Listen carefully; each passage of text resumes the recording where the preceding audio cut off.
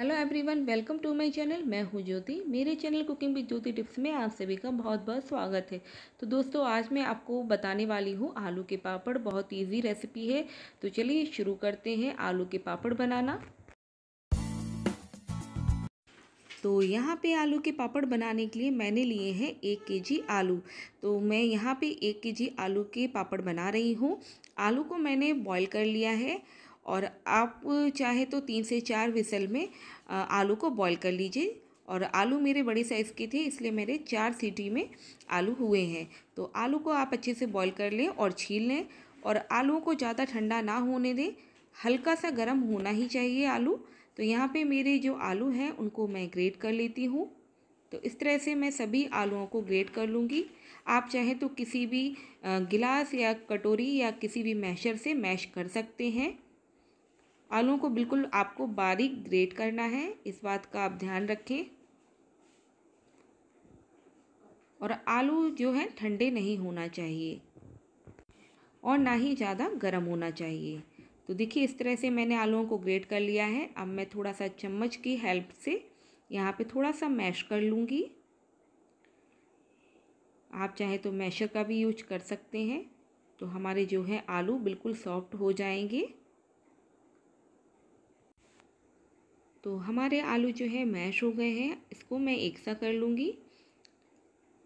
अभी मैं इसमें मसाले ऐड करूँगी।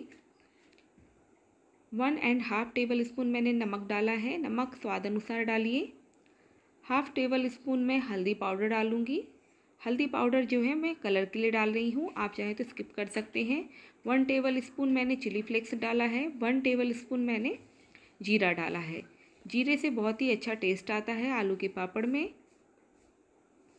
अगर आपको मसाले कम लग रहे हैं तो आप मसाले और भी ऐड कर सकते हैं। तो यहाँ पे मैं अच्छे से मिक्स कर लूँगी। हमारा जो है मिक्सचर अच्छे से मैश हो गया है। अच्छे से मैंने मिक्स कर लिया है।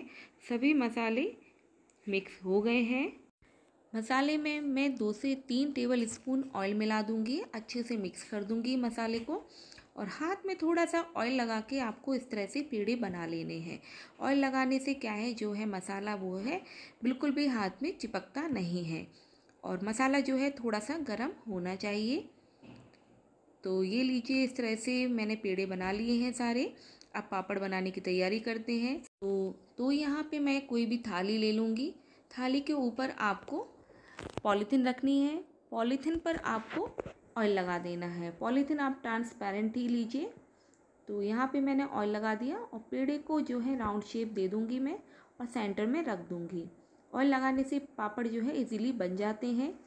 पॉलीथीन को मैं फोल्ड करूँगी और पेड़े को जो है सेंटर में कर लूँगी और एक प्लेट की हेल्प से ऊपर से प्रेस करूँगी। थोड़ा सा घुमाऊँगी तो देख सकते हैं आप कितना अच्छा जो है पापड़ हमारा तैयार हुआ है। बहुत ही अच्छा राउंड शेप आया है। इस तरह से आप हाथ से भी कर सकते हैं।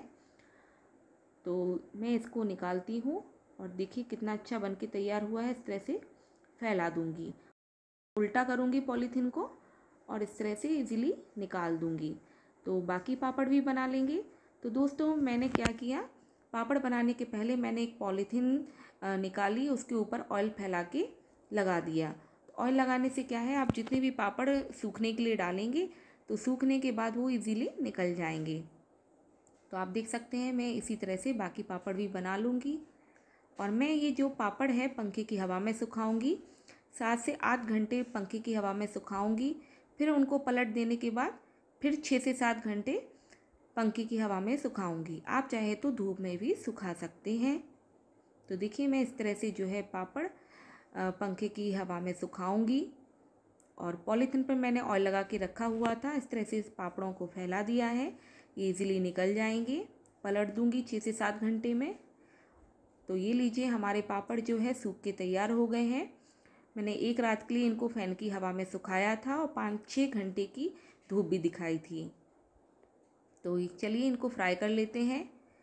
तो ऑयल अच्छा गर्म होना चाहिए फ्राई करने के लिए। तो देखिए, इस तरह से मैंने पापड़ को डाला और इजीली निकाल लिया। पापड़ को ज़्यादा देर तक फ्राई ना करें। आलू के पापड़ जो है, बहुत ही जल्दी बिगड़ जाते हैं। तो इसलिए आपको तुरंत डालना है। जल जाते हैं वो। देखिए, डाला और मैंने तुरंत निकाल लिया। तो इस तरह से देखिए, मैं चिमटे की सहायता से डाल रही हूँ। चिमटे की सहायता से मैं निकाल लूँगी। तो यहाँ पे मैंने डाला और निकाला। तो आप देख सकते हैं, इस तरह से मैंने सारे पापड़ जो है निकाल लिए हैं। बहुत ही खस्ता करारे जो है हमारे आलू के पापड़ बनके तैयार हुए हैं। बहुत ही टेस्टी लगते हैं। आप चाय के साथ इनको ज़रूर लीजिएगा। तो दोस्तों, आशा करती हूँ आपको मेरा वीडियो अच्छा लगा होगा। अच्छा लगे तो लाइक, शेयर कीजिए। मेरे चैनल को सब्सक्राइब ज़रूर कीजिए।